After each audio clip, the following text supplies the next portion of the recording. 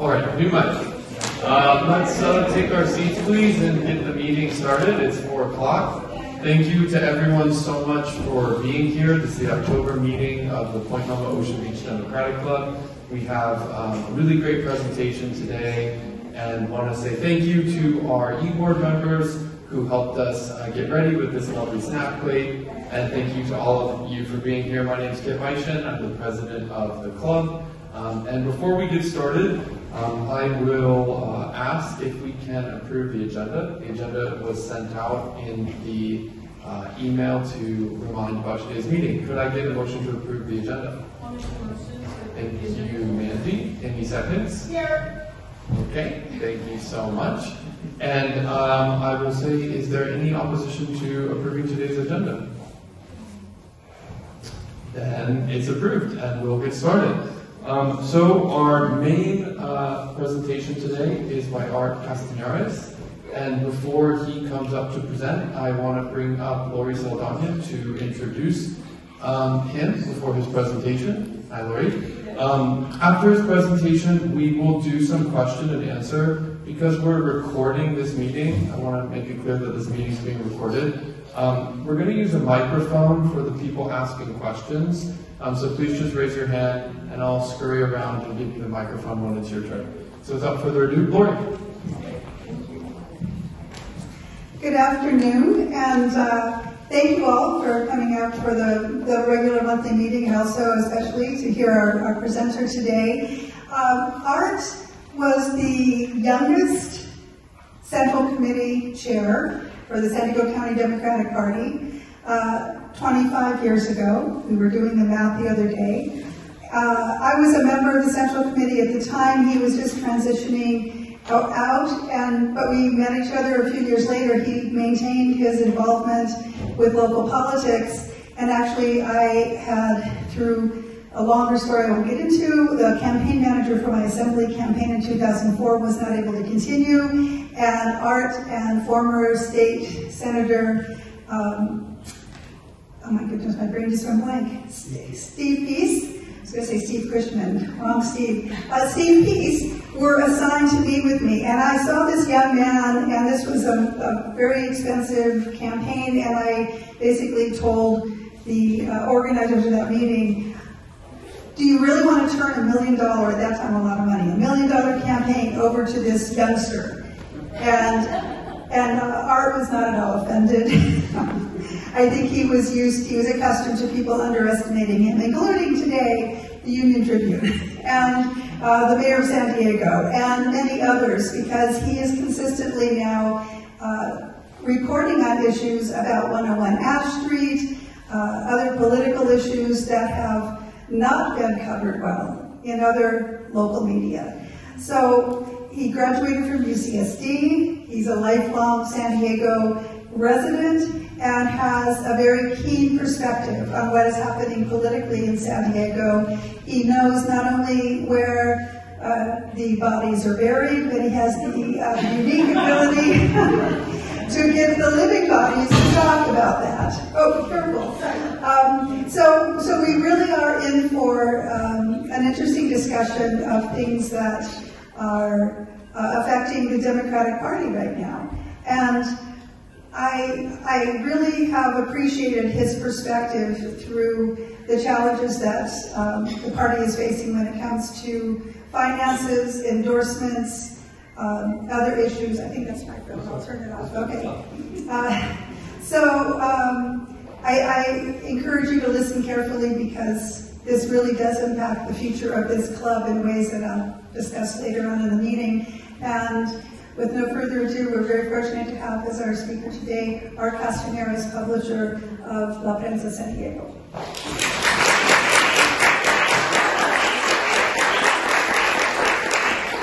Thank you. This is really nice to be here. I haven't done a club meeting in a long, long time. I was chair 25 years ago. So I just put this up, I sent it to John just so people would know why I talk about the party or why I may have a different view. So just a quick synopsis. I'm the owner and publisher of La Prensa San Diego. We're now in our 46th year. It was 39 years old when I bought it. Um, we're, we're, going in, we're now past eight years. So um, It, it's a, it's a bilingual paper. We just published a story today that's bilingual. Uh, we have several reporters that are bilingual, and uh, we have a lot of freelancers that, that contribute to us.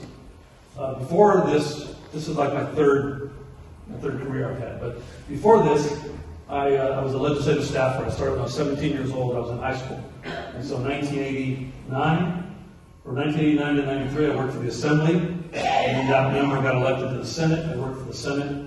From 93 to 2002, I ended up being, I went from being the intern to the chief of staff to the same member. So I passed everybody in the office. It was a very strange experience. So I was up in Sacramento the last four years. I worked on the state budget. Um, I left that in 2002 when he turned out. So I've now been out longer than I was ever in. So I consider myself a recovering political staffer. Uh, but during that time, I also did other things. I was the chair of the party uh, from 98 to 2001. I was a national delegate to the convention in LA in 2000. Uh, I worked for the White House for about a year. I used to travel with Al Gore all over the country uh, doing advance work. So it was an incredible experience to do that. Um, uh, before I was chair, I was the director of political action for the Central Committee, on the subcommittee. Uh, a bunch of state conventions. A couple people like Steve Rivera and I used to go to state conventions when we were much younger. And so people always ask me how many campaigns I've been involved in. And I always count them as what I call uh, election night decisions, because sometimes it's a primary, the general, or special elections. So in campaigns that I've been directly involved in, I've had 74 election night decisions. And four of those lost. Four out of seven. So it's been, a, it's been a lot of campaign. Lori and I went through the campaign in her 04 campaign. That was an 04, right? So it's been almost 20 years since I worked on that campaign with Lori. Um, so I, I was always the young guy in the room. I'm not that isn't the case anymore. It's sort of weird. My doctor, my doctor's younger than me. That's that was a shock when that first started happening, right? So, uh, so that's just for my background, so you have that. Uh, if you haven't already been to La Prensa, our domain is laprensa.org. Like I say, established in 1976. I'm only the third publisher. The original founder, uh, Dan Munoz, was a very interesting man. Um, I, I was a big fan of his. He was a Korea War veteran. Um, was a Chicano Studies professor, founded the paper, was the first Latino outlet in San Diego. And then he passed away in 93. His son ran it until 2015 when I took it over. And he didn't want to sell it to anybody else. And if I didn't buy it, they were going to close it down. So really, I bought it to save La Prensa. I never even feel like it's mine. I feel like I'm a caretaker of this community paper. And when I decide I no longer can do this, hopefully be someone else to pass it on to. Um, that's our website. We're on social media. that's my email address if you ever want to contact me uh, directly. So I, I, just want to talk about some of the stuff that's going on. We write about a lot of things, not just politics, but uh, because my background, I do focus more on some of these stories that, to me, I just either have more insight into it because I used to be on the other side. I was a staffer at a very high level, um, dealing with some incredible political things that were behind the scenes that most people never get to see. And so when I see things happening in real time, it, it looks different to me. Having been there, right? I, I understand it differently. And I also have a lot of relationships with people that are insiders and staffers in city departments or wherever it is. And they see things and they're just afraid to speak up because they don't want to risk their careers. And so they reach out to some journalists that they trust. And more and more, they, they come to me. And sometimes now I get anonymous tips because people have seen what I write and I, I got a letter a couple weeks ago. It was a blank white letter printed, addressed to me, and the first sentence was, I send this to you because you seem to be the only journalist willing to write this kind of stuff. And it was an insider inside of the city, gave me some tips that I would have never known. I, you know, I, I can't see, I'm not everywhere to see these things. And so that was a, really good tip. We haven't published that story yet, but it's a, it's a very inside story um, about some things going on inside the city. So not only the relationships I have that over 34 years I've been doing this, but now and more and more it's just people who follow what we write. Uh, so it's really interesting. La Prensa used to be a small community paper focused inward to the Latino community. And since we've expanded it, there are people like you guys reading this. This wasn't our audience before, right? So the Prensa has really broadened our, uh, our reach because of the kinds of stories that we write. So I appreciate that. It's always weird to I don't know if you guys have ever seen the movie when, Hal, when, when Harry met Sally. There's a, the guy's on a date and the woman quotes an article that he wrote. And he says, I wrote that. He says, I've never had somebody quote me back to me. That happens to me sometimes. It's the weirdest feeling ever. It was something that was in my head that I wrote down that I sent out. And when we put it out there, we don't know how many people read this stuff, right? I know. I have no idea. And so when I run into people that say, I've read your story, it's, it's still a weird feeling for me. Um, You wouldn't believe that I'm actually an introvert. So it's still weird for me to be doing this kind of stuff. So uh, I encourage you, if you don't follow our stuff, this was the other day, we had new stories were posted since then, but the story that was the top story that day was about something going on at the Port of San Diego. They censured one of their commissioners, first time ever that the port has, has done that. And I didn't know her, I met her once before this happened. But I wrote a story because I had an insider telling me there's more to it. And so I wrote a, a pretty harsh opinion piece about the process. So if you haven't read that story, that's interesting too. Um, we got a lot of traction over the last three years on the 101 Ash story downtown. It's still going on. The city is about $200 million into a building that is probably worth zero today. It's a big scandal. It isn't over yet. Uh, but we had insiders and whistleblowers come to us.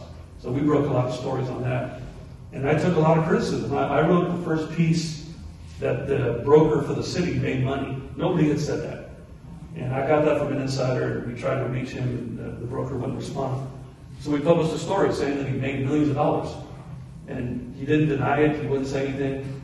I got criticized by other reporters who would call me and say, none of our sources have confirmed that. Where'd you get this? I said, well, you gotta get better sources. I don't know what to, I, don't- I can't do your homework for you, right? We stood by that story. It took more than a year, and the guy finally confessed on the and he returned nine point four million dollars, I think. Uh, so I was off. I thought it was five million. He got actually me more than that. Uh, but you know, we took a lot of heat for that story, but we stuck by it because we trusted that our sources were were good. Um, and sometimes I do get criticized, but more and more, the Union Tribune and other papers have started to um, to quote us, to refer to our coverage as first reported by the Prensa. And that means a lot to us because it's a validation of what we do, a validation of our work that Jeff McDonald and other people at the UT are willing to quote us because they're putting their reputations on the line by, quoting us. So it- it's an interesting experience. I didn't set out to do this when I bought the Prensa. I, I bought it to save it. I didn't think I was going to write. And more and more I would go to my reporters and say, you don't, you didn't get the whole story. And I would start to fill them in on the story, and then by the end of the story, it was more mine than theirs. And so I had to start putting my name on these stories. And, um, and now I, I write a lot of these stories myself. And sometimes I write it, you wouldn't believe it, the side of the road on my phone. I get some idea, and I, I'll pull over and I'll write it on my phone, I send it to the editor, and then she'll post it. And then uh, I start getting text messages while I'm still driving home. It's a weird experience how social media has changed the landscape for, for media. Uh, you probably heard that the Union Tribune sold recently. It was kind of a surprise deal. I think they're going to stop printing the daily paper, probably except for the Sunday paper. And more and more social media has been the equalizer. But the second that the UT stops printing the day-to-day paper, we're all equal. And then it's just going to be about content and credibility. And that's what we've been building at La Prensa, is our content and credibility, so that the day when it's all digital and we're all equal, we can compete. We no longer have the advantage of 100,000 copies on the street every day. Now it's just going to be, who are you willing to follow? And who do you trust? And so it's an interesting time to be involved. I was involved in the internet before this, I didn't put it on there, but even before this, I was involved in the internet when I was, when I was about 18 years old, when people didn't have email. We were doing some really very cutting edge things. And I got to see the development of that. And we used to think back then, someday people are going to get their news on this web. And nobody believed that. Now, this is how everybody gets their news, right? So I, I've lived through some, some pretty interesting evolution of media. And it's funny now to end up being a newspaper owner. When I was 13, I used to deliver the paper on bike. Um, before it, so you remember before the UT merged to be the Union Tribune, the Tribune was the afternoon paper, right? I used to deliver the green masthead in the afternoon after middle school. Uh, never thinking I'd actually own a newspaper. Now I do. So, um, you know, this is a, a real weird, non-direct way to get to, to where I am. Um, so, and again, if anybody has any questions while I'm doing this, you know, please speak up. This is kind of just off the top of my head. Uh, but the thing that I've read lately has been kind of critical about the Democratic Party, and I thought it would be interesting to talk about it here, because I, um, I have an insight into it, right? I was the chair of the party before Citizens United lawsuit that allowed all this dark money to be flowing different ways. The, the biggest year I had, and, you know, Steve was around back then, the party was very small. I think we raised two hundred and fifty thousand dollars when I was chair. It was a, a lot of money to raise to the party. And this year, they reported raising, I have it on here, I think three point six million. Uh, the top column B, the first, uh, first column at the bottom, three point six million dollars. The San Diego County Democratic Party, they don't raise that money. Uh, they don't raise it the way I used to. I used to call people, um, I'll tell you a quick, a quick side note, how desperate we were for money back then. When I was chair of the party, we hired a phone caller, uh, uh, he was a, a phone dialer. Steve laughing, yeah, so Steve Rivera is a, he's a, a big guy in the Democratic Party. He and I grew up doing this. There was a guy named Norm, who was a very weird guy, just a weird personality, quirky. But he worked, he was a professional fundraiser on the phone. And we hired him from this big uh, firm where he worked and became our in- in-house phone call. All he would do every afternoon would look up donor lists and randomly call people, Democrats like you guys, and say, hey, I'm Norm with the Democratic Party, we're raising money. Can you, can we count on you for fifty dollars or twenty dollars or ten dollars? And we raise money like that, right? Steve, every day this guy was on the phone. So I don't have the personality for that. If I got on the phone and people hung up on me two or three times, I'd never do it again. This guy would get hung up on and they'd yell at him. Some people would give. And we raised two hundred fifty thousand dollars doing that, little fundraising stuff. We had to raise the money ourselves, right? This three point six million dollars, this is money that moves through the party. And so what happens nowadays is money goes through the party, the party takes a little cut off the top, and then they pass it through and spend it on Democratic campaigns. But it's money that before we would have never taken. If you really look at this report is, uh, if you look at the top, it says Form 460, page 3 of 389. That's a 389, this is only for a two-month period, December 23, I'm sorry, October 23, December 31. The party moves millions of dollars through the party now. That's actually just used like a funnel. This is a kind of dirty way to put it, right? And there are a lot of interest groups that want to get money to Democrats. They give it through the party, it gets kind of diluted, and then they spend it on campaigns. And so it's hard to track. It's really hard to know that this entity gave money for this campaign. So, but I have some insight into it. So we wrote a story recently, if you haven't seen it, about a, a certain cam, uh, campaign consultant that works for the party that's been running this. I think it's a sham. I think it's cheating by sending out mail that isn't paid for yet. They call it debt, right? Well, I've worked on, like I told you, 74 campaigns. I never had a printer send mail without being paid, ever. I, used to have a printer call me and say, "The truck's loaded. It's not going to move until you bring a check." And then all of a sudden, there's one consultant who every one of his campaigns has debt. Sometimes for months, sometimes for years after the election. And nobody really looked into it. And I started pulling these 460s, which I myself have filed dozens and dozens of these forms. And I laid them out on my floor, on a whiteboard. I started kind of following the map. And I wrote this big story a couple weeks ago, three weeks ago, I think today, that puts it all together, There are about 500,000 pieces of mail landed in mailboxes that most of it still hasn't been paid for. And it's, it's a cheat. And some of it some of it went to the Democratic Party. About $200,000 of it is still owed today. 230, I think, was, $222,000, something like that, is still owed for over a year ago. And the party hasn't paid it off because it goes through one consultant. So I'm very critical of that. I, I believe, I did a podcast about a month ago and I, I explained it this way. I think the voter base is like a jury in court, right? As campaigns, we go out and we make our best case, like lawyers do. And we all want to make our client look the best, right? When I, when I did Lori's campaign, Lori won by 12 points, Lori, 13 points or something against a former member. It was a huge election for Lori, right? We did commercials with her mom and dad. We did all kinds of things, right? Our job as a consultant, as a campaign, is like a lawyer in court, you try to make your client look the best. But you can't lie, you can't cheat, you can't try to trick the jury, right? So each side makes their arguments, and then the jury goes away to some place you don't see them.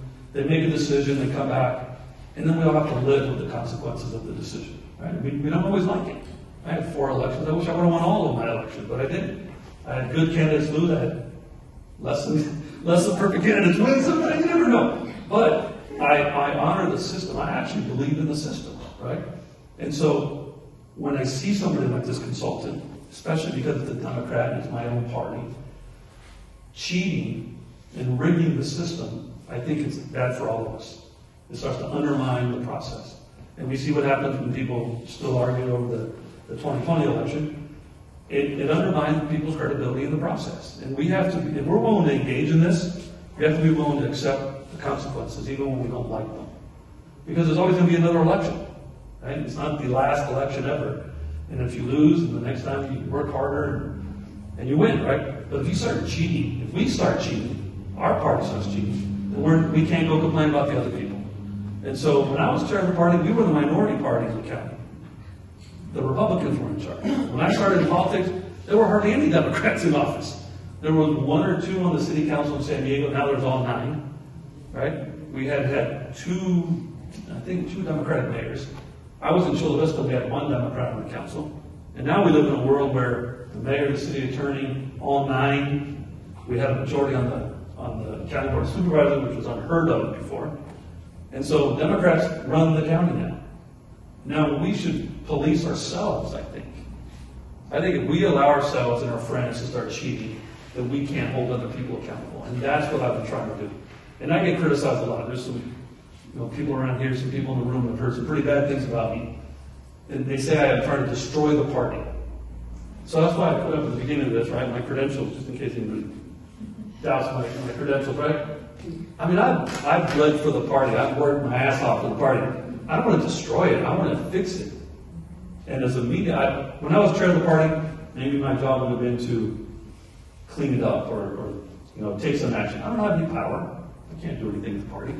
But as a media, well, my job is, is to expose things, to put a light on it, and then let the people that are in charge of the party or the enforcement agencies or the prosecutors, it's their job to go clean this stuff up.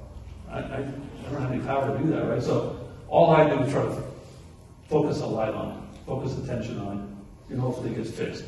So that's why I thought this was an interesting format to have this conversation because I don't want people to think that I'm against the party. I, I, I don't usually do interviews. I've done two podcasts, and this is an interesting thing because I want people to know where I'm coming from. It isn't personal. It isn't a vendetta. Those are my credentials. I wouldn't have done all that if I was a Republican. And actually, we've had some people that have become Democrats that used to be Republicans who get less criticism than I do, which is amazing to me, right? So, uh, you know, but I don't just focus on this. I, I fly airplanes. I, a lot I was flying this morning. Um, I'm starting to transition over to write about aviation and travel more than politics. And I might transition out of politics. I've been doing this a long time. 34 years is a long time. Vast majority of my life has been doing this. And so over the next couple of years, you might see less and less of me around, around town. Uh, but I did want to show you, it isn't magic where I find all this stuff, right? If you guys aren't familiar with these websites, most of these articles I write are 100% based on documents that are publicly available. Nobody gave me secret documents. You want to find out about federal candidates at the FEC website. State candidates, Secretary of State. The local candidates, the registered voters, or the, count, the clerks of the cities. It's all there. What I've figured out in doing a couple of these stories, especially the one about the, the party and politics, is that the way that they've gotten away with this cheat is that they hide it in plain sight. Okay, they file 460s that at, at first glance they look perfectly fine. All the numbers are there and it looks like they add up. And if you don't know what's behind it, then that wouldn't look any deeper, right? And so let me tell you what, one of the, the stories that's still coming. So the story we did the other day about the consultant. In every single one of the campaigns touched by this consultant, they didn't disclose the name of the printer that actually printed the materials. Doesn't seem like a big deal, right? Well, it's required under state law. You have to disclose all of your vendors down to five hundred dollars. So if, the party pays a consultant, and the consultant pays a broker, and the broker pays a, pays a printer, all that gets disclosed, because we need to know where the money went. All of these campaigns stopped at a print broker, who up until a couple weeks ago, even I thought he was actually the printer. Everybody talks about him as, his name is Tony Turpin. Senator Turpin, Turpin's a printer. So I'm on the phone with him one day challenging him about these things, and he said, I'm not the printer. I've been doing this a long time, and I thought this guy's been a printer for 20 years. I thought he was a printer. No, he's a broker. So then I finally put it together. He's the one that's not reporting the printer. And why would they not report the printer? Well, it turns out they may not be printing all of the material at union print shops, which for Democrats, that's, that's a bad thing, right? So if they were to disclose where they sent the money, we would all know pretty quickly that they weren't union printers. So what do they do? They disguise it. But if you don't know that and you look at the 460s, they look completely purple. So you, you gotta get one level deeper, two levels deeper. So that's a story we still have coming out. We haven't played all of that out yet. So those are the kind of stories that I get blamed for doing, but is it my fault? Right? When people say I'm trying to destroy the party by reporting the, the stuff, who's more to blame? The people that did it or the guy who reports it? right? I mean, it's not my fault. So uh, I, I'm willing to take the criticism. Uh, In that podcast the other day, one of the guys said, you know, people call you a jackass. I said, I may be a jackass, but I can also be right. Those aren't mutually exclusive positions. So I'm willing to take the criticism. I'm willing to be called names and show up here. I, I should I joke with Susan. I said, I'll be here as long as they don't throw things at me. Um, I'm willing to say the things that other people aren't willing to say and take the criticism as long as they don't say that we're wrong, that we lied. And this is the proof I always throw out there every day. I've been the publisher for eight years. I've written hundreds of stories, and some about Democrats, Republicans, the DA, the mayor. I mean, I've written about some big people. We have never had to retract a story. Not once. Nobody has ever demanded that we retract a story. So that's the proof to me that we're not making stuff up, or else I'd be sued every day. I've been retracting stories and apologizing every day. We've never done it. Not yet. And so we're very careful what we publish. By the time we hit send on a story, you should know how serious I take it that that story is true. We've documented it, we have sources, multiple sources. Because I know that the day I make a mistake, they're going to try to discredit everything I've ever written. Every story. They're going to go back to the first story and say, you can't believe anything La Prensa ever wrote. And I protect that legacy because, again, it isn't mine. The Munoz, the dad and the son, put out papers for 39 years before I came along. And I feel like it's their legacy, and I'm kind of the caretaker of it, and I don't want to screw it up on my watch because I'm not going to be doing this forever. So I do take this very seriously. It's a lot of work. Um, I've had reporters call me, that Jeff McDonald's become a good friend. They see a story, and I always, if you read my stories, they're documents with highlights. I document it like it's a white paper because I don't want people to then say it's just me, my own ideas. No, here's a document. You can find it yourself. Go online. I already showed you where to find it. You can double check my work.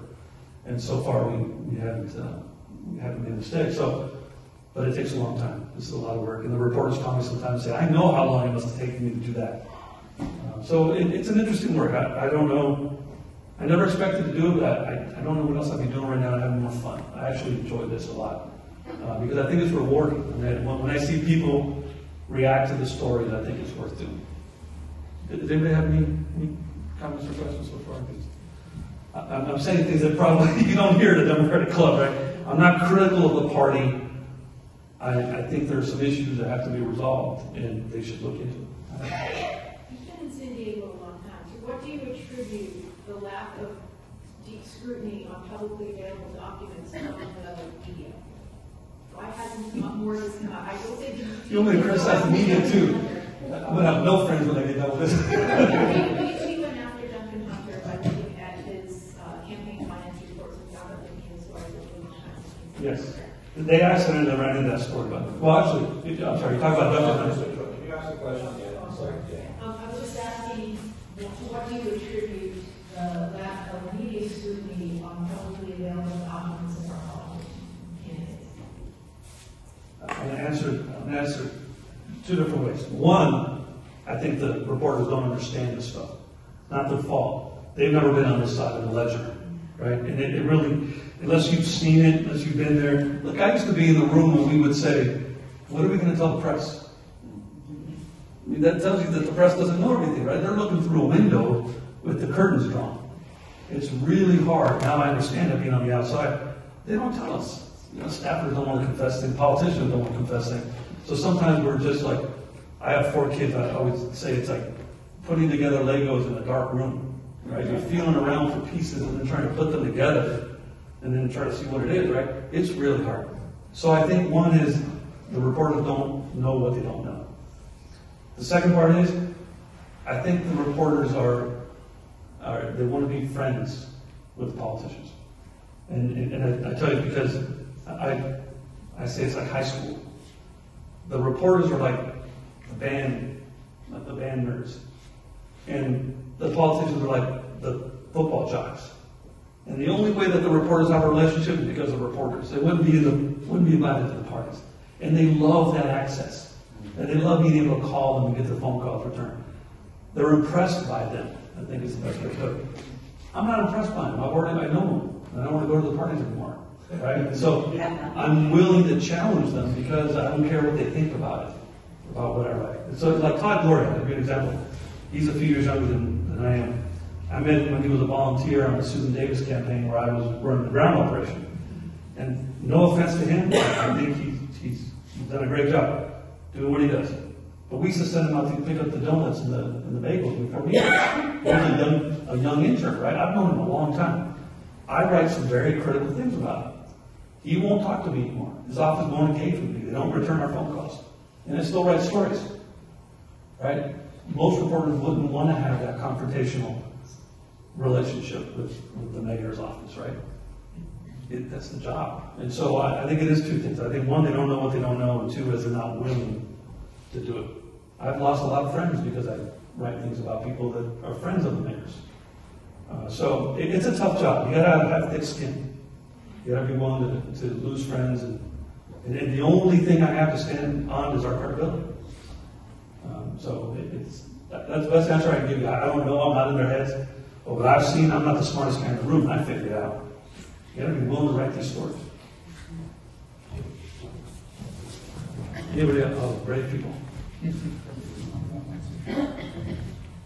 I'm not trying to talk anymore because, um, yeah, he, doesn't appreciate criticism really.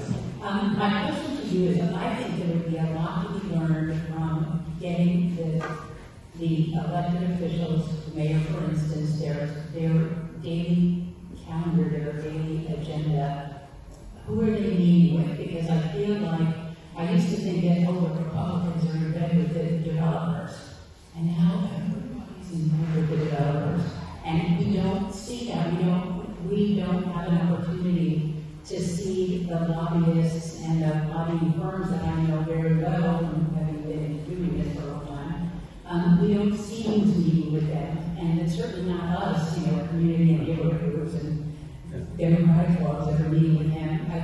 that, uh, is there any way at all to get, to put pressure to have them publish their daily calendar? That would, that would be great, but th- there are two different ways. It's really hard to get their calendar because there, some of it is exempt from disclosure because they're personal. So you can't rely on that. But there are lobbying disclosures where they have to disclose that. But the, the way I track it is track the money. Look at the four 460, look who gives money to them. And I wrote a piece about two months ago, I took a lot of criticism for. The headline was Dem on Dem political violence increasing. And it's what we've seen, and one of the things I want to talk about today too, is what you see in these primaries now where they're Democrats on Democrats because Republicans have pretty much disappeared. Right? These races are pretty much all Democratic districts. And so what you see now is the labor groups and the Democrats and the business lining up on different sides. And friends having to pick, this is a civil war, right? Families picking different sides. But you look at where the money's coming. There are certain types of candidates that get developer money. And it's not the candidate's fault. What happens is the developers, the business groups, they used to openly give to Republicans. That was, and it was open, everybody knew that. The AGC is the uh, Association of General Contractors, the BIA, the Building Industry Association, everybody knew that they were the Republican guys, right? Well, now there are no Republicans left. Well, they're still gonna get money, they still have interest, and so they wanna give it to the more friendly Democrat, but they know that they can't give it directly because it'll damage that Democrat among their Democratic friends. So what do they do? They put it through these obscure third-party committees, or they wash it through the party. Look at that disclosure. Go online, look at the party's disclosure. Who are you going to see on there? The AGC, the BIA, some of the biggest Republican business groups in town give to the Democratic Party. Why? Because all of a sudden like the Democratic principles? No, because they're being endorsed candidate that is the one that they prefer. And so I saw the sign here for Monica Montgomery. This is a great race. I, I wrote about it. That some of the hit pieces that came out against uh, Monica. Two Democrats in that, and you saw where the developers lined up. And, and, and Janessa Goldbeck got a lot of support. There were a lot of hit pieces that were done by a group funded by Steve Cushman, one of the biggest Republican guys in town. And Monica still survived. And now all those people are coming back. Scott Peters, Juan Vargas, uh, Mike Levin, we're all with Janessa. Now they're all coming back, right? And so that is a function of who's talking to them. The developers didn't go away. They're just picking different horses now. Um, so the, the way to know is look, follow the money. Best answer I give you. There was someone else over here that, one here in the middle.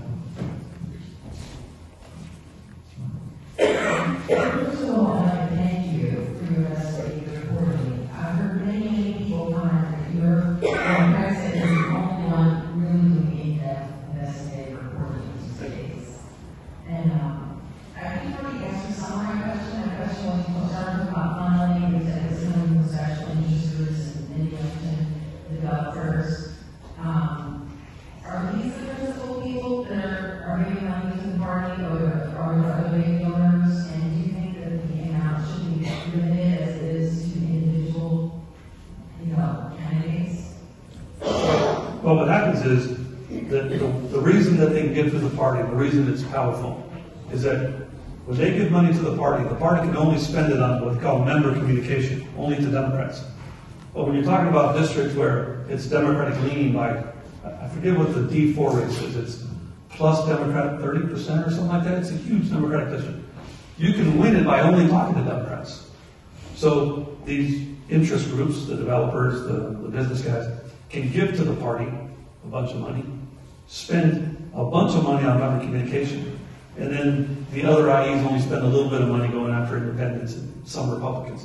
But because the Republican number is so big in these districts, you can put most of the money through the party. That's how $3.6 million comes together. And, I encourage you, go look at the disclosure and see who's giving big checks to the party. It's not, these don't only be labor groups. And those are our friends, okay.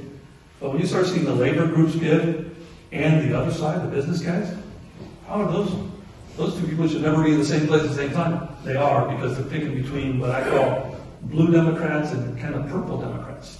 There's shades of blue now. When before it was really easy, right? We're with the Republicans and then with the Democrats.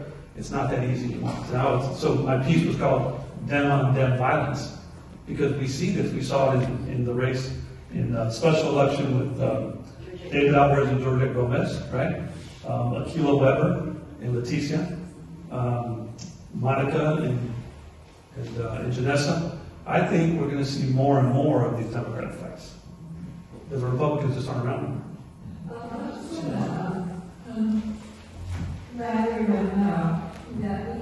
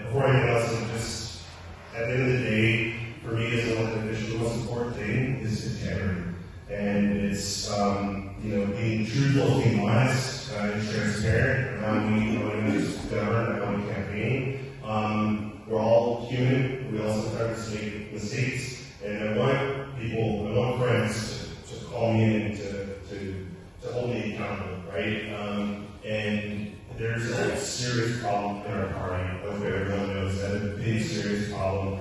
This, you know, when I saw your follow-up article, Art, after, you know, the investigations and hit pieces against me, the follow-up article was the party that is what seems to be in debt to the tune of over a quarter million dollars to these state consultants, and that concerns that. So then what I'm thinking is, huh, is that why I was discouraged from investigating? Because people have those ties and share those ties, and I have to be able to trust my own party.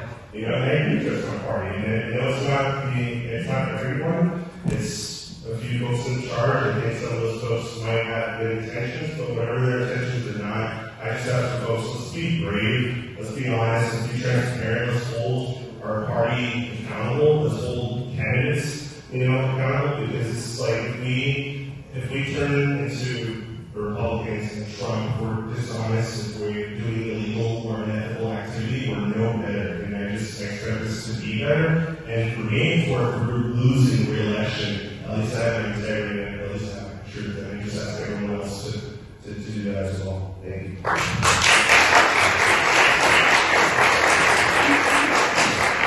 Thanks, Marcus. It's really funny that I wrote these stories about the situation Marcus had. He was the one that was the victim of this, this consultant that was on both sides, surreptitiously hiding it, lying about it until we finally proved it this year, after three years, right? So now people are saying that Marcus controls me. He tells me what to write. Before, before today, this is the second time I've ever seen Marcus in person in my life. Right? Marcus? You know, I, I don't write about things because he's a friend of mine or an ally or I'm protecting him. I wrote a story that was based on the truth, on something that I thought was wrong, that we can prove was wrong.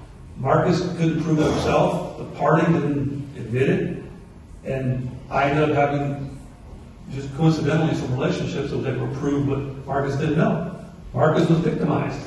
And they make him feel guilty now for bringing it up. And so I, I told him a couple times before, if you're the victim, other people should be embarrassed by what they did. But we need to hold our friends accountable. That's what I said earlier. I, I don't know if you were here when I said that, Marcus said, you know, we need to hold our folks accountable. Because if we don't, then we're just as bad and we're complicit in what's going on. And so it's got to be fair, like I said before. The process has to be fair. We can't criticize the Republicans or Trump or January 6th or whatever if we're going to be complicit in the same type of behavior. Um, so that, that's what this is about. Uh, I hope people understand that, and I hope that we all hold each other accountable. And if I screw up, I expect all of you and all my friends to call me and say, that was stupid. It was a stupid thing to do. Uh, because none, none of us are perfect. There was somebody else.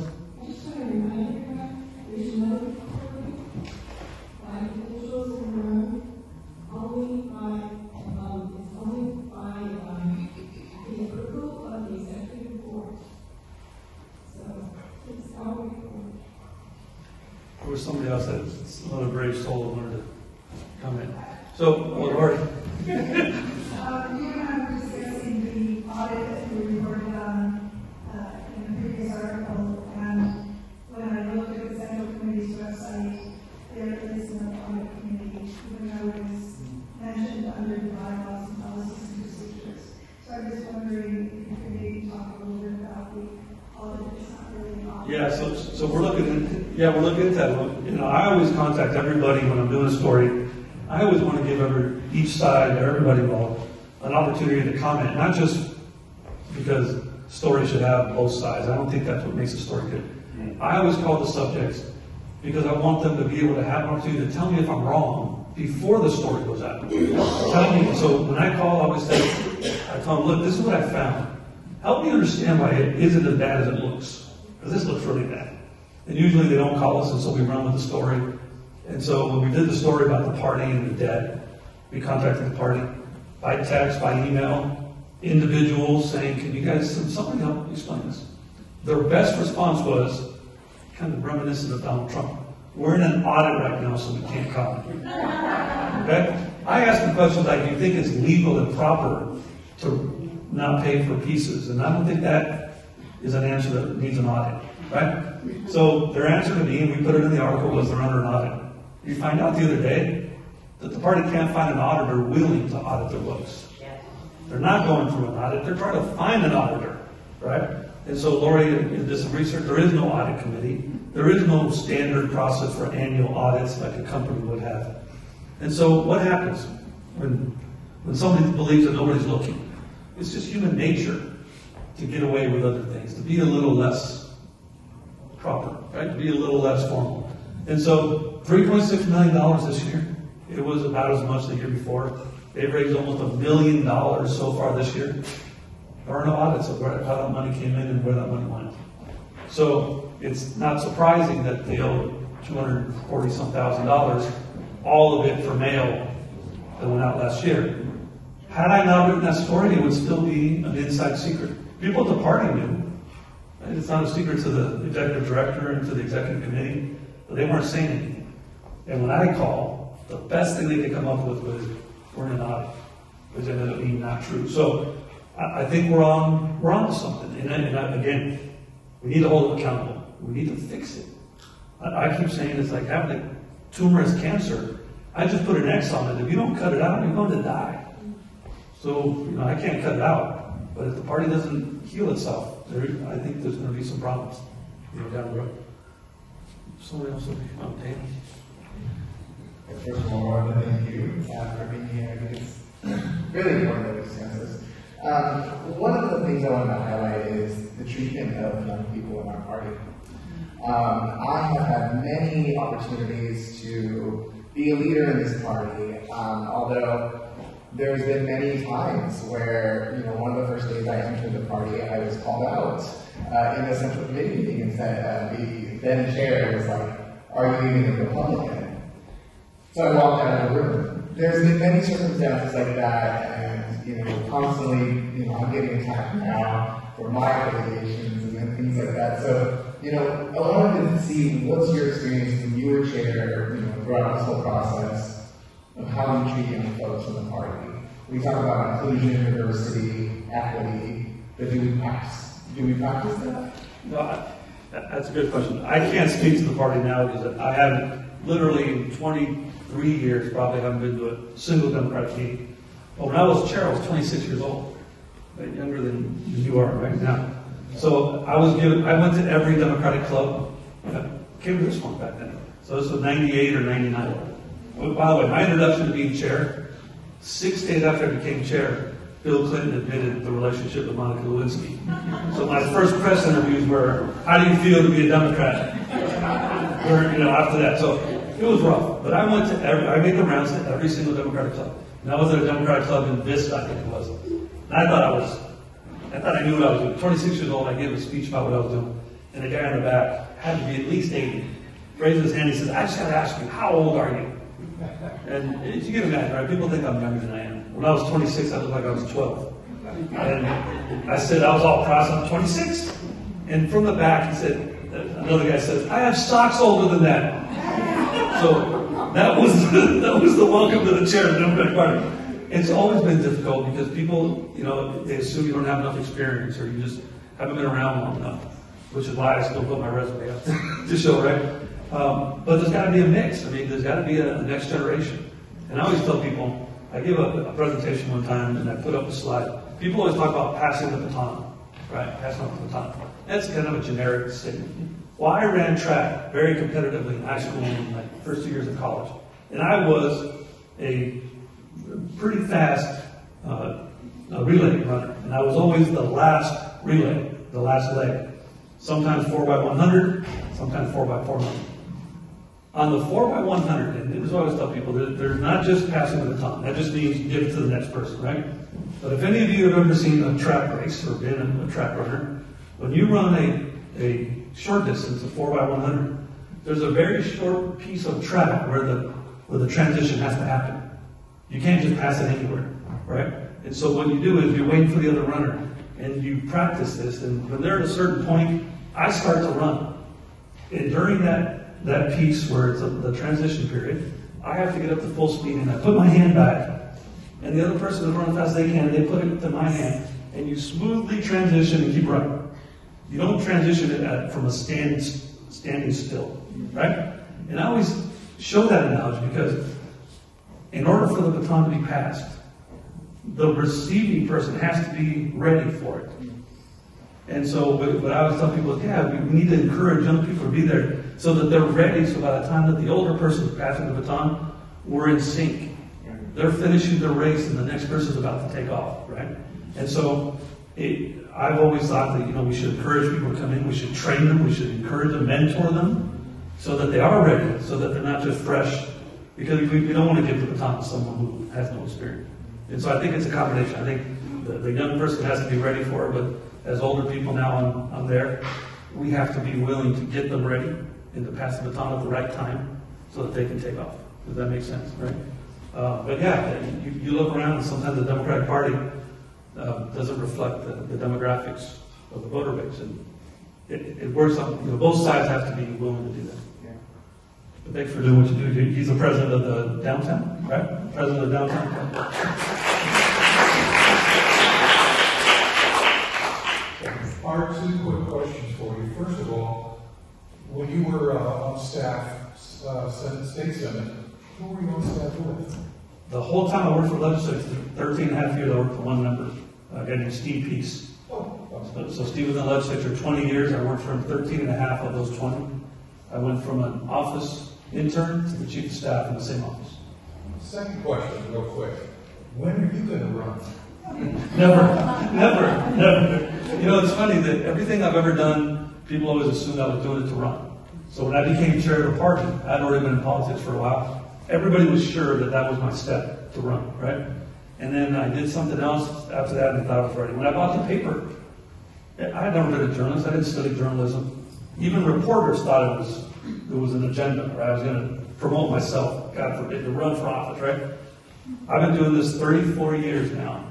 The last thing on my mind is ever run for office. I'm, I'm on the downside of the curve like I tell you, I, on a day like this, I woke up this morning, so I fly airplanes for fun, but I'm training for a big trip. And I woke up this morning was horrible weather.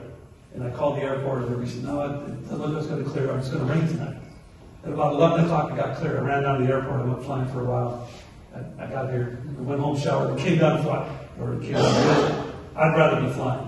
Even than doing, I love politics. I gotta tell you, the truth is, on election day now, I had like withdrawal symptoms. Because that was my, that was my Super Bowl, right? All the stuff you worked up to is election day. I don't have anything to do on election day anymore. I wrote my story about it before the election, and I have to wait till eight o'clock for the first results to come in. And it, it kills me. But, you know, I, I've, I've already done it. It's time for people like Danny and other people to, to, to take it up. Um, the long version, the short answer, never, never. Hi. Thank you for being here. I really appreciate your presentation. Um, with regards to Monica and mailers that came out from the last cycle um, with regards to her being depicted and just not in a great light. And um, here in this we actually had conversations with some elected leadership regarding that. Is what you've kind of reported on with the, the mailers, is there an opportunity for Democrats to even be uh, supporting the police officer association or, you know, indirectly? Yeah, that, that's a good question. I wrote a, a very critical piece about those hit pieces. If you guys, didn't see them, um, they were for Janessa against Monica, And they did the old, you know, racial trope of a nice color picture of one person and a grainy black and white picture of the African American candidate. It was, it was horrible, right? And it was done by an outside group, um, that the, basically the Police Officers Association. The, the consultant for the POA is someone I've known for a long time, he's a Latino Democrat. He did those pieces, and I called him up, I said, this is horrible. Not, not only do I not think they're very good for you, but the police used to only do positive campaigns. Back 20 years ago, if you got the endorsement of the POA for a local race, or the DSA, the Deputy Sheriff's Association, for a county race, that was it, you would win the race. And, and you would, you could hide behind the badge, right? They would put out these signs saying law enforcement's choice, they do yard signs, they do signs on light posts everywhere. Because their image has now been damaged, right? The police are not the endorsement they used to be. They've now resorted to attacks, the negative hits. So I did a piece saying that they were not only racist and untrue because they painted her as a defunder when she actually voted for every single budget that came in front of her, but they, they damaged the police officers' union's own reputation. And so your question is, can we support them? I think there's got to be some, some, some very tough conversations among Democrats and police, and Democrats who support police. Let's talk about Todd Gloria, for example. It's very unusual to have a new mayor come in who is so different in politics from the old mayor and keep the same police chief. That's usually the first person they get rid of, right? You go to the chief, say, Chief, sorry, but we need to appear to have a new approach. Same chief, same tactics. Todd has become Faulconer 2.0 as far as homelessness, enforcement, you know, uh, law enforcement, uh, criminal justice reform. I, and I'm not bragging about being upright, but go back to my 2020 uh, endorsement. We didn't endorse Todd Gloria. And I took a lot of heat for that because he's the mixed race Democrat. And we endorsed Barbara Reed. And I didn't know Barbara Reed very well before that. But I wrote to piece saying Todd is going to be exactly the insider because, to your question, how did I know that? Look at his 460s. Everybody who would give to, to Faulconer gave to Todd Gloria. And all I had to know was you can't be an agent of change when all the agents of the system are giving you the money. That's exactly what's come to pass, right? So I think there has to be a reckoning. The, the cops have to be more accepting of what the perception is. But if you notice, from where we were, uh, George Floyd time to now, the pendulum has swung back. Right? It was defund police, criminal justice reform, and now the Democrats, like Todd, become tough on crime and you know prosecuting people for being homeless, right? Because the electorate in general has moved back to the middle. Everybody was sympathetic, and all of a sudden they they they come back, and you look at the polling that they're doing. Todd Gloria is only reflecting the polling that he sees. That's where the public is. That's where he's going. Uh, but we, have not gotten to the bottom of this, and I think that the, the relationship with the police is still damaged, uh, especially among Democrats. And so you see the POA, um, the LA, they call it the police. They don't call it POA, but they're basically their POA union gives a lot of money to people in San Diego through the Deputy Sheriff Association, through the um, the San Diego POA. Uh, so, but again, follow the money. 460s are all online. You can see who's who. All right, can you do one more question? Yeah, one more question. Three more questions on that. What's that? Okay, let's see. Well, not that great. Meeting was also part of that. You did? Good. There we go. We're on the same. Hi there. Um, Timothy Holder, I actually used to be a staff I'm sorry, with, with, with Michael Portino? Yes. Oh, he was a good friend of mine. Uh, Michael was uh, always in a little bit of hot water with the community, which uh, kind of resonates a little bit with what's going on here, because people would come to him and say, hey, why are you writing these stories on our community, on our organizations? And he would constantly say, well, first of all, his favorite uh, phrase was, who shall stand guard against the guards themselves? Uh, Um, and he would say, listen, if we cannot police our own community, if we cannot critique and correct the mistakes that we are making, just wait till they get in the hands of our adversaries. They will do much better than we will. Um, so I just want to kind of throw that out there. You know, we we sometimes lose sight of the long view of things and how things have evolved over time. It used to be the Democrats, Michael was uh, very active, that were in the minority. And now we have the power, and yet we find ourselves in a situation of being, as you just alluded to, you know, Kevin Faulconer 2.0. Uh, how did this happen? How is it that these interests have plugged into our party and co-opted from us? And that's exactly what I. So was? Tim. Tim, I- it's funny you said that, that you was talking about Michael Portantino, who used to be the owner and publisher of the San Diego Gay and Lesbian Times. Um, and I thought about him the other day, Eric, because when Feinstein passed away, we did a fundraiser when I was chair at Michael's house Oh, yeah. with Diane Feinstein, and I introduced her, we have a great picture together with Michael. I just saw that the other day.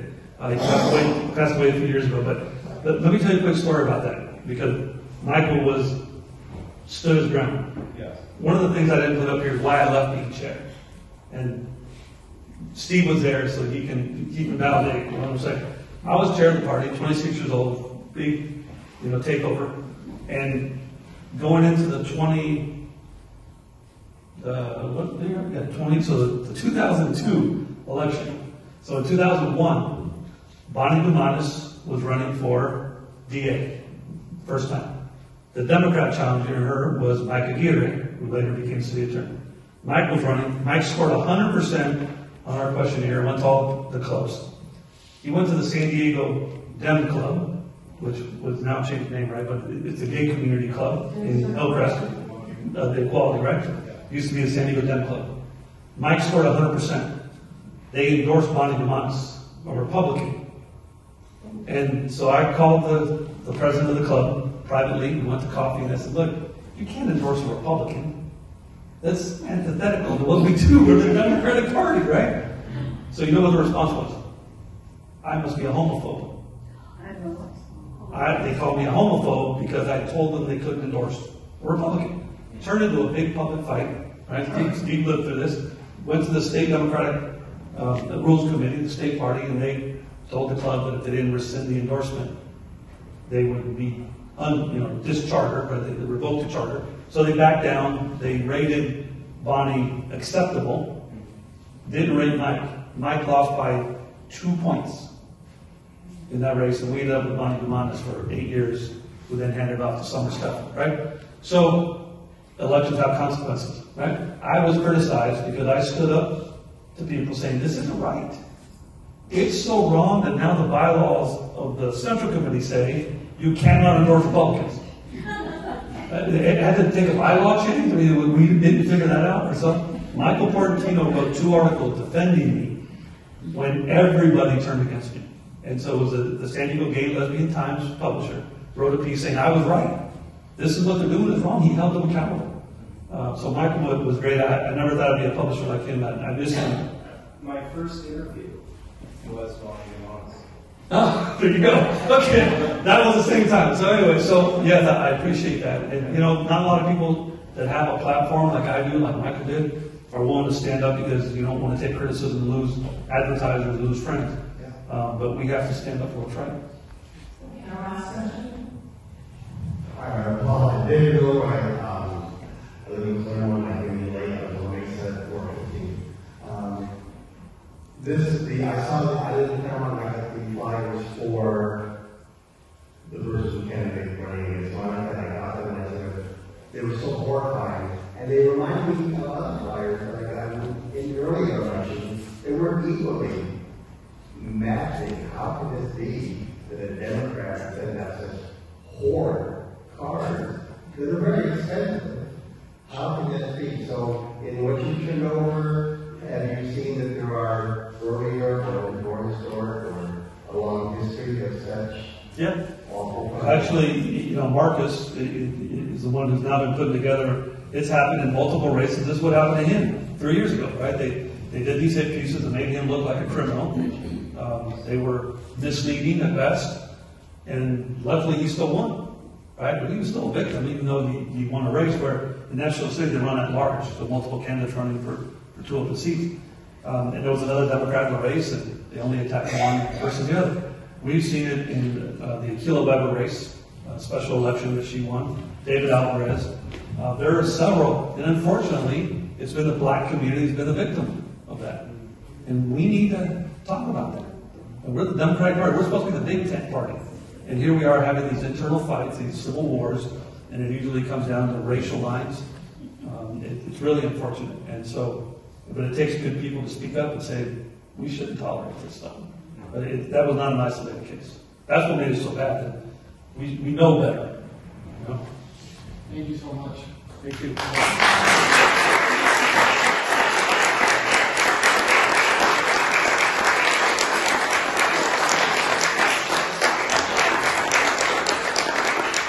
Thank you again for the presentation and for taking so many of the club's questions. We're so lucky to have you here. Thank you, Lori, for the introduction as well. Um, we'll continue with the meeting. Um, we'll have officer reports, um, announcements from elected officials and candidates, and some open forum for announcements as well. We'll start with officer reports. Um, I'll start with the president's report and ask please save the date for December 10th. That's going to be our holiday party. We'll have a toy drive component, hopefully announcing some um, great guests as well, so please uh, save the date. Um, we don't have minutes to present at this meeting. Um, Angela, our treasurer, do you have anything to present today? Right on.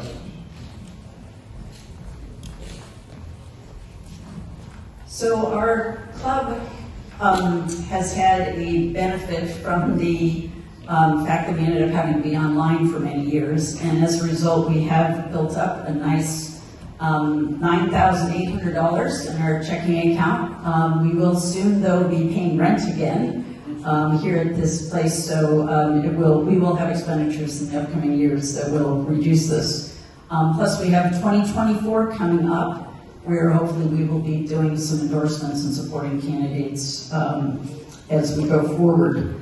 Our membership right now is 112 um, members. We will hope to increase the membership in 2024 as we get geared up for the election. I do want to remind everybody that the way our club works is that dues are due on January 1st. So we don't have any rotating membership.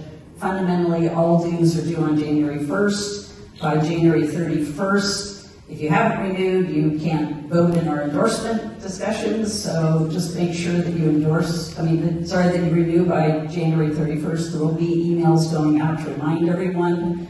Um, if you choose to renew early, um, anytime after November 1st, your renewal goes through all of 2024.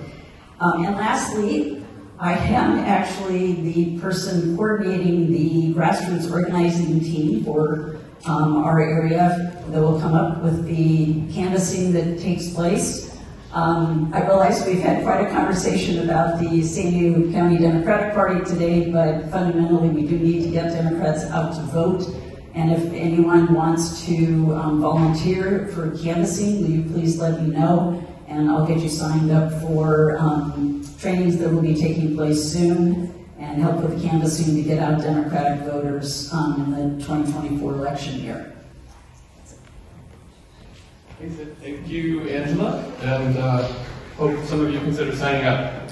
Um, we'll open up for electeds and candidates. Um, if you are an elected official or a candidate, we will give you two minutes to speak, starting with Sonara. Come on up? Okay, hi everyone. My name is Sonara Velasquez and I'm Director of Clubs for the San Diego County Democratic Party. And I'm talking to you today as Director of Clubs because a lot of what uh, Art was talking about, which is who has the voice, who has the influence in the San Diego County Democratic Party.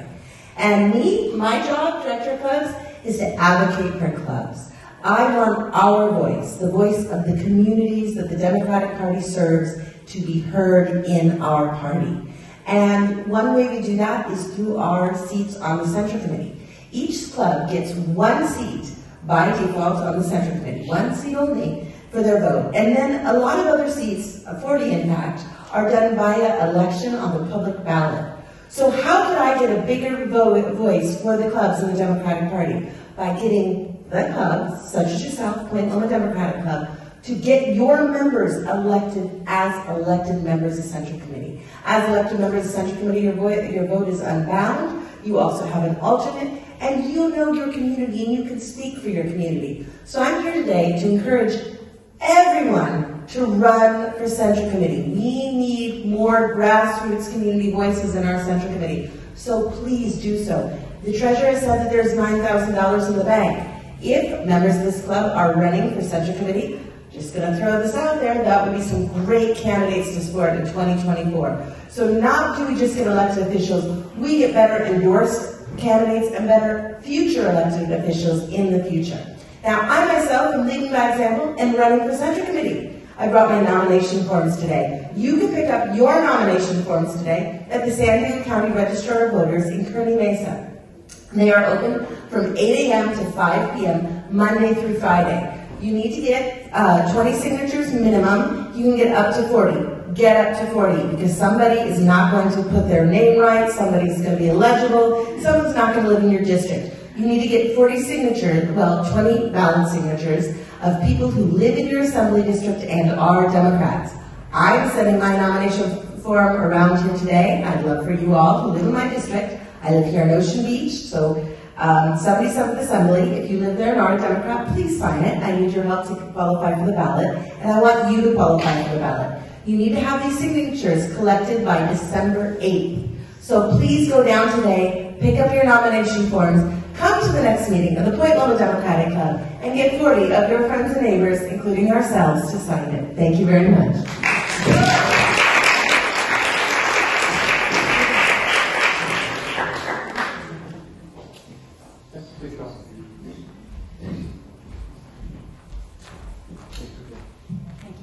Hi, everybody. I'm Christine Brady, and this is kind of like coming home. I worked for eight years for NOSC as an engineer, um, topside, bayside, and seaside.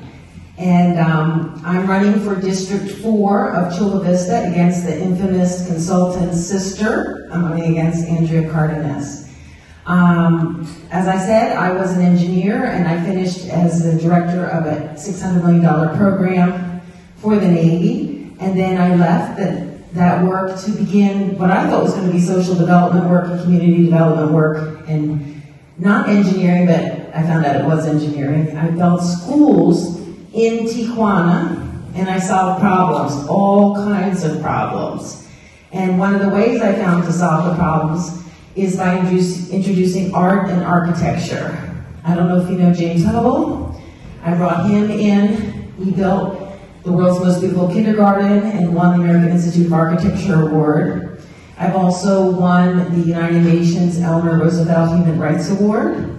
And I look forward to, I have lived in Chula Vista for 25 years and watched my particular district go downhill, have less services, um, businesses going out of business, and I'm concerned about fiscal responsibility. We have a, a big budget for Chula Vista, $530 million a year, and they had an extra $100 million this year. I don't think they're spending the money to, for the benefit of the people.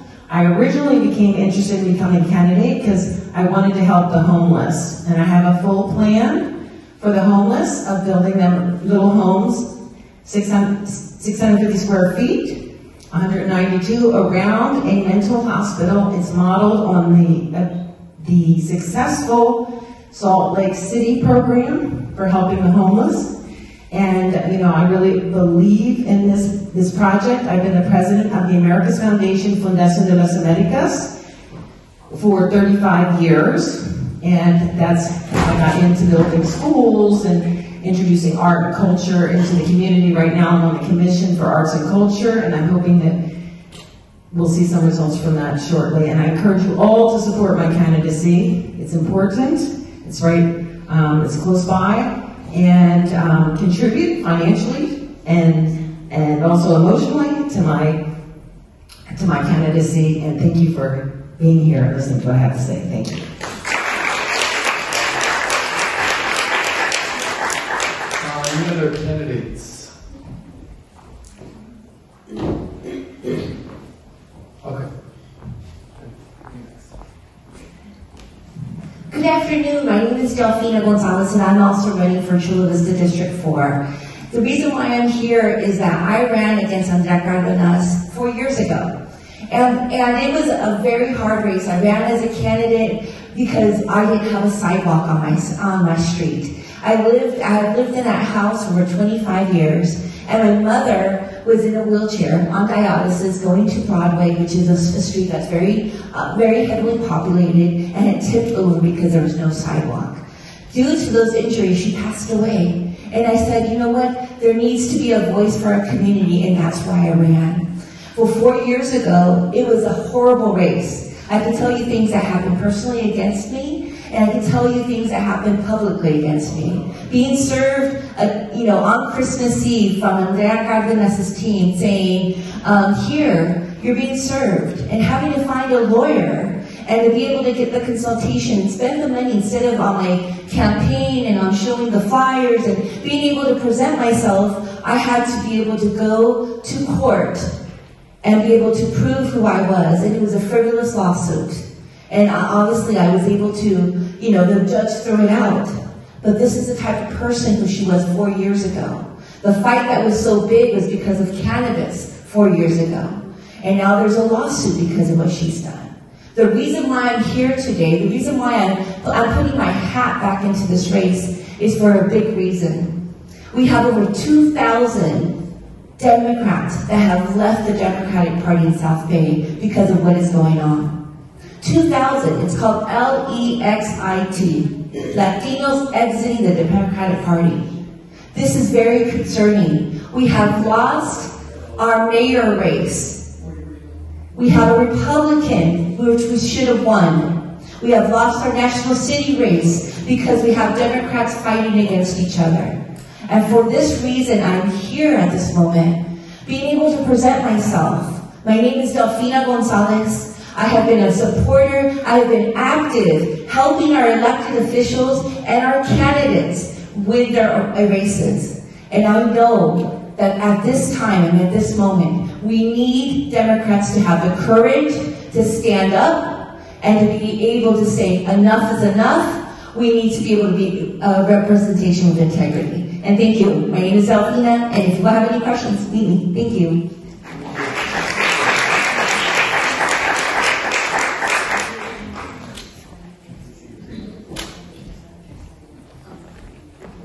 My name is Timothy Violage, and I to the club. I was in Valley Center. My car broke down Friday. Took eight hours, so my transportation was limited. I am a candidate in the congressional race 50 for California. My name is Timothy Violage. I am a lifelong board certified obstetrician gynecologist. I am a graduate scientist. I have cards. You could go to my website if you want to learn more about me. Some of you may have seen me before. I go to a lot of the clubs. Um, I just wanted to mention I'm collecting some signatures. I need 19 more to get on the ballot in the 50th.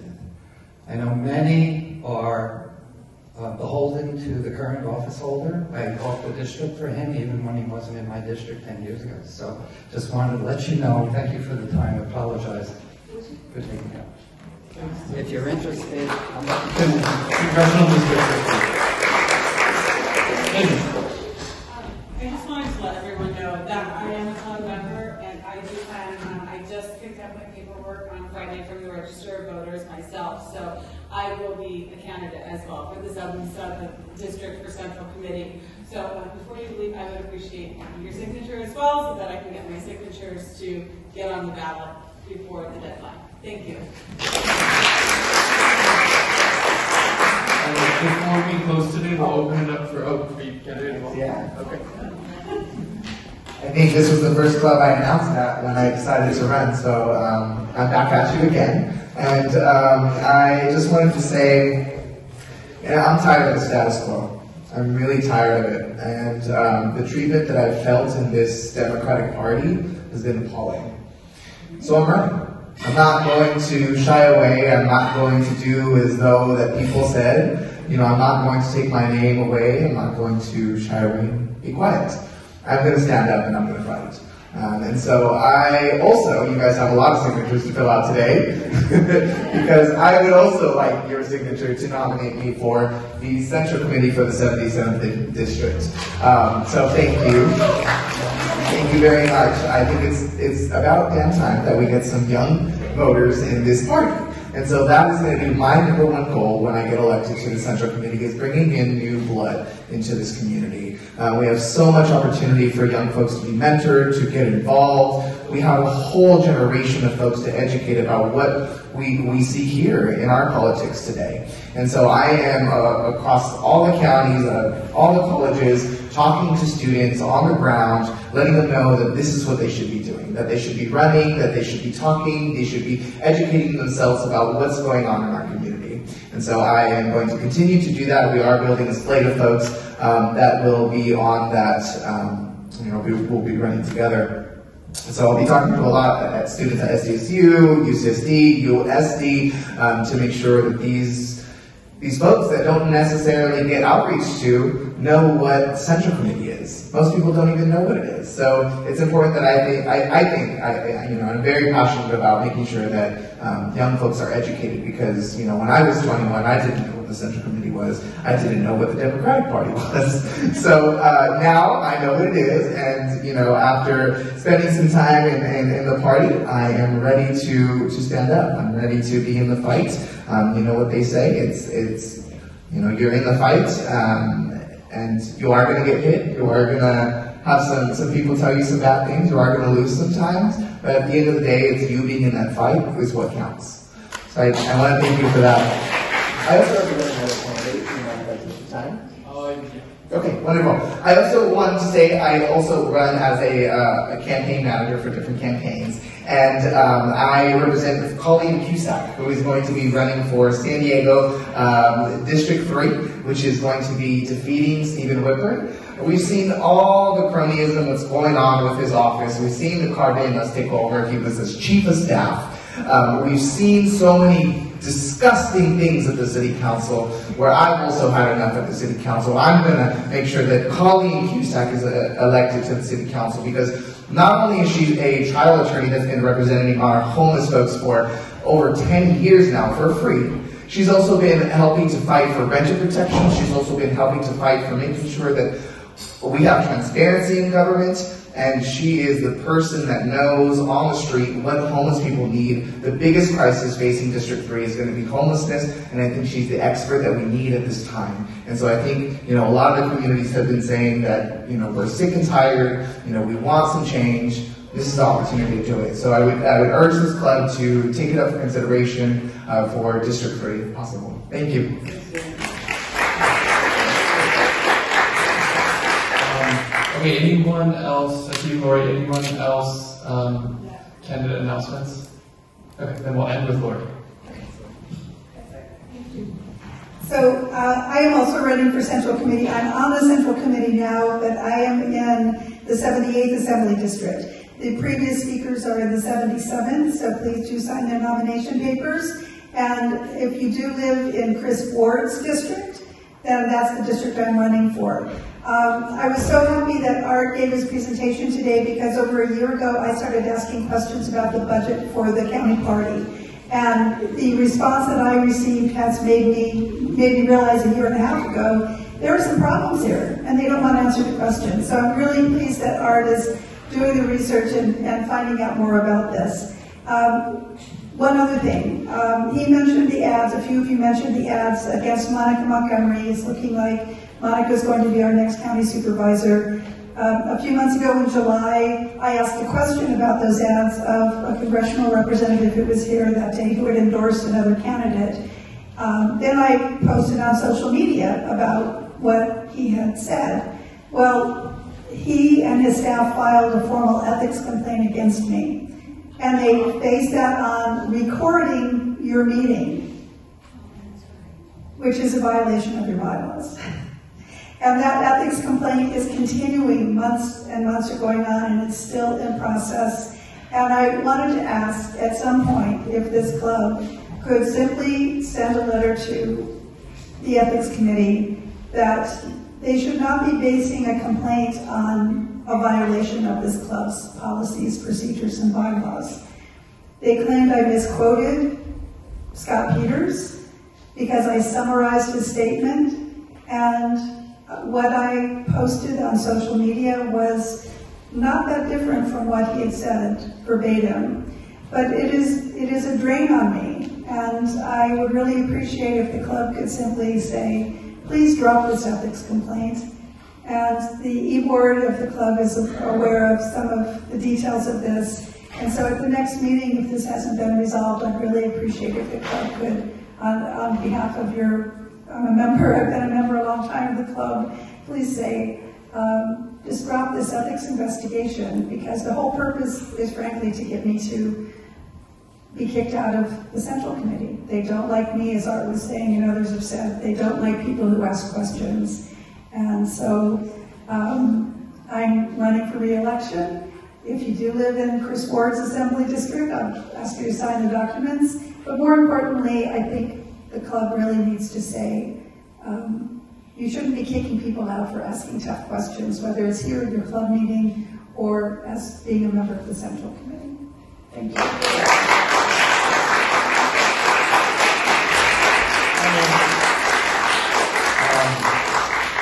Thank you to all our candidates who are here today and who spoke. Um, we have a time for a few announcements. Uh, if anyone wants to take a couple minutes to announce any events in the community.